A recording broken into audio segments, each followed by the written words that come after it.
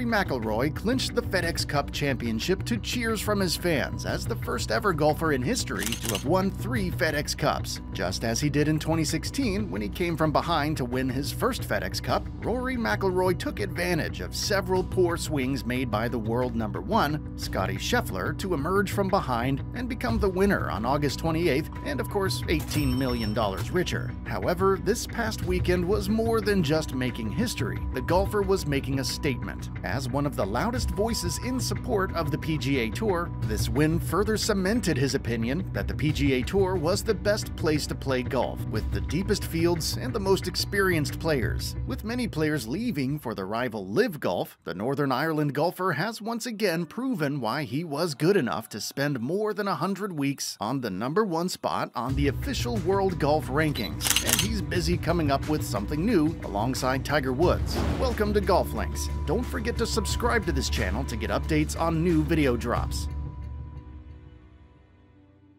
On August 28, 2022, Rory McIlroy once again wrote his name in gold in the golf history books when he became the first golfer ever to win the FedEx Cup three times. Like many of his wins, Rory McIlroy had been trailing yet again at East Lake. This time, he was six shots behind in the final round of the FedEx Cup. For starters, Scottie Scheffler was many bookies' favorite to win the FedEx Cup and take the $18 million in prize money. However, during the final round, Scottie Scheffler and Rory McIlroy both bogeyed the first hole. For Scottie Scheffler, it would be a case of more slipped shots on the fourth and sixth holes. Rory McIlroy, on the other hand, rallied around to birdie the third hole and even take a step further, to add more until he was tied in the lead with the world's number one. To prove that he's no pushover on the golf course, Scottie Scheffler answered with a birdie on the eighth hole. On the 12th hole, Rory McIlroy got into close contention with Scotty Scheffler, but soon suffered further bogeys in the 14th hole. For most of the encounter, it looked like Rory McIlroy was only playing catch-up with his fierce challenger. However, with a couple of hard lucks coming the way of Scottie Scheffler, Rory McIlroy made no mistake in holing from only 7 feet to push the 2022 Masters Tournament champion into a shared second spot with Sungjae Im. The FedEx Cup victory for Rory McIlroy became the third in his illustrious career. It was also the first moment in the history of the PGA Tour that a single player would win the competition three times. In 2016, when he first won the FedEx Cup, Rory McIlroy had come from behind in a similar fashion. Coming from two shots behind in the third round, Rory McIlroy entered a playoff round with Kevin Chappell and Ryan Moore. He clinched the 2016 FedEx Cup with a terrific performance to top the FedEx Cup points tally, taking home a cool $10 million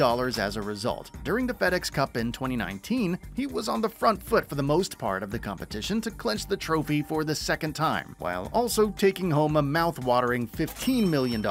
Following his historic victory at Georgia for the third time, Rory McIlroy would take home a massive 18 million US dollars in prize money to further push his total earnings for 2022 to almost unimaginable heights. Aside from Tiger Woods, Rory McIlroy is largely seen as the most marketable and exciting golfer. For one reason, it may be largely down to his numerous PGA Tour wins and achievements over the years. But in July of 2022, the Northern Irishman showed how he could still be the people's champion, even without taking home the trophy. Rory had been many gamblers' favorite to win the 150th Open Championship. After the event's first round, the 33-year-old golf star was sitting in second place. By the end of the second phase of the competition, Rory McIlroy had dropped to third place. However, the third round began to see a change and a much better fortune for Rory McIlroy. In no time, he was tied at the top with Viktor Hovland, with both golfers sitting a massive four shots ahead of everyone else. On the last day of the 2022 Open Championship, Rory McIlroy put a gap between himself and Viktor Hovland with a birdie at the fifth hole. With no major errors committed and no missed shots, somehow, Rory McIlroy ended up empty-handed by the evening of the final day in St. Andrews.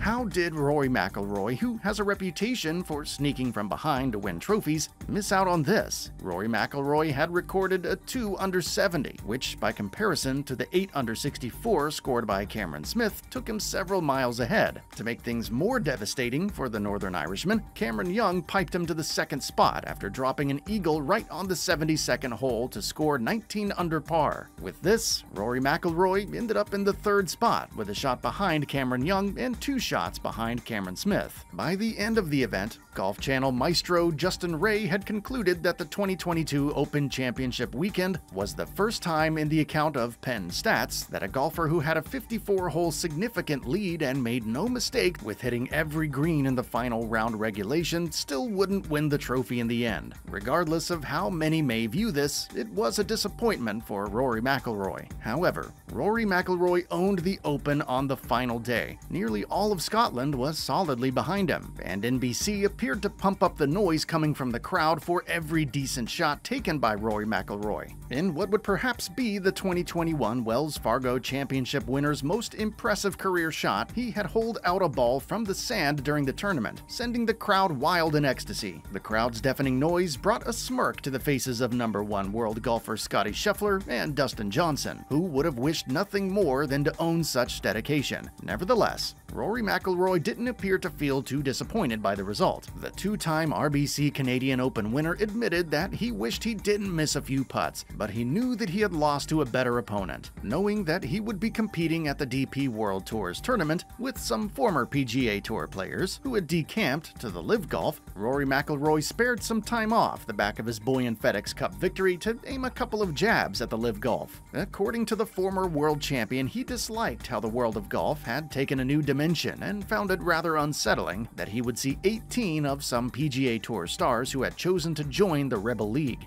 Perhaps to show that Roy McIlroy was committed to making the PGA Tour and everything built around it surpass that of the LIV Series, the 2022 FedEx Cup winner had joined hands with Tiger Woods to create a tech-infused golf league called the TGL Series. The PGA-approved tournament would involve a contest among 18 players in a three-person team. However, Unlike what we see in the PGA Tour pitches, the TGL would have built a stadium, where its events would begin in 2024. Similar to a football-type showdown, many fans would go sit around the stadium to watch golfers compete in the 18-hole tug-of-war. However, establishing the new TGL series has not come without its little headache. Shortly before the commencement of the FedEx Cup, Rory McIlroy and Tiger Woods received a summon from the court to answer some questions regarding the TGL, which is now deemed a direct rival to the LIV series based on antitrust laws. Although the court summons was aimed at getting information regarding what is perceived as an attempt to hurt the LIV Golf Tour and many of its players, many believe it may have been motivated by the management of the LIV Golf Series to frustrate the TGL. Aside from Rory McIlroy's investment portfolio that indicates a stake in Drive Shack, the Northern Irishman is also involved with Tiger Woods in establishing TMRW Sports. The two golf stars had announced that the new company company would be focused on technology-inclined endeavors that include modern approaches to media, sports, and entertainment. Interestingly, they will be joined by iconic NBC sports personalities like Mike McCarley and Dick Ebersol in a bid to add the needed expertise to the young company. According to Roy McIlroy, the partnership to form Tomorrow Sports was necessary to improve the sports experience and make many people gain easy access to sports worldwide. It was no surprise that Roy McIlroy and Tiger Woods used Tomorrow Sports to announce the formation of the TGL Golf Series. Following years of astonishing success on the golf course, the current world number 4 golf star holds a namesake video game titled Rory McIlroy PGA for EA Sports Gaming Company. You may find it rather intriguing that the 2022 Masters Tournament runner-up had replaced Tiger Woods, who previously held the namesake video game version, Tiger Woods PGA for EA Sports, sitting on a net worth of over $150 million from multiple winnings, tour finishings, and numerous businesses, Roy McIlroy is believed to be one of the top 10 richest golf stars in the world. The Northern Irishman also holds multiple mega million deals with popular sports companies like TaylorMade, Nike, Omega, Golf Pass, NBC Sports, and Optum. Having endured a few relationships with celebrity Holly Sweeney and a controversial fling with Meghan Markle, Rory McIlroy married PGA employee Erica Stoll in 2017. On August 31, 2020, 2020, the two lovers welcomed their first kid, Poppy Kenny McIlroy. Of course, he'll be spending the next few days celebrating his latest historic win with friends and family.